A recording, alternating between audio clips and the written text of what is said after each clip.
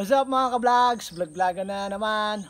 Welcome po sa aming ah, Secret Garden para sa isa na namang edisyon ng unboxing moment with me, yours truly, Sir Kuray. Actually hindi siya unboxing, unpacking siya no. Ah, binili ko sa Lazada nung ano, ah, 999 sale. 999, Sa- dalawa lang pala, 99, September 9, 2020. So nabili ko ng 783 pesos itong ah, short na to, pang mountain bike siya. Ah, actually, dalawa lang yung pinapaikot kong short sa aking mga bike rides, no. Yung isa cycling tapos yung isa regular na shorts lang.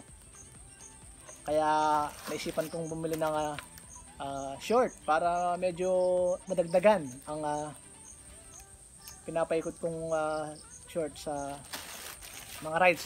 Okay, without further ado, buksan na natin. Kaya nga pala nabili ko to sa Victory Team. Yan, ito yung pangalan ng store, Victory Team. Yan. Hopefully, ah, kasya ko at um, matibay, no? Yan. Maganda yung ano, pagkaka-package, no? Meron pa siyang zip tie. Zip tie ba tawag dito? Zip lock or zip bag. Yan.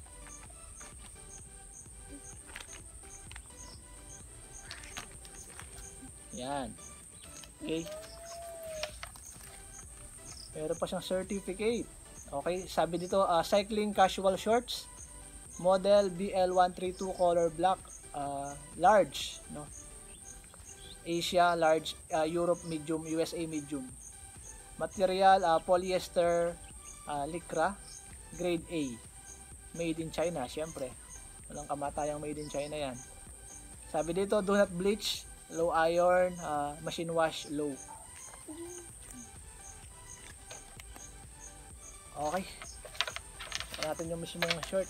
Meron pa siyang ano, paper dito. Okay, first time ko magkaroon ng ganitong klase ng short, no? Kaya hindi ko masabi kung alin ang maganda at alin ang pangit. So, mukha naman siyang matibay. Dry fit yung tela. Breathable. Meron siyang ah, tawag dito, meron siyang botones. Tapos zipper. Ayan. So, meron siyang isang packet dito sa kanan. Tama nga yung ano, yung nando sa comment section, no? Medyo mababaw yung bulsa. Pero hindi ka naman magbubulsa ng marami dito eh. Oh, medyo mababaw nga yung bulsa. So, magkabilang side meron siyang bulsa. Sa likod, meron siyang isang bulsa. No? Maliit lang din yung ano niya, bulsa sa likod. Ayan, may zipper yung bulsa. Ayan. Sa gilid ng paa, meron din siyang bulsa. No?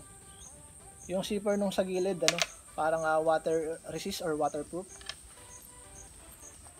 Medyo mababaw din yung kanyang bulsa, no. Saktong papasok lang itong ah, mga fingers ko. Magkabila yan. Meron siyang magkabila. Check natin kung hindi sira, no.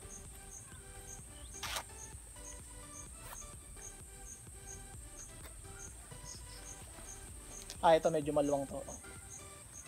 Medyo maluwang yung bulsa niya. Sa kabila.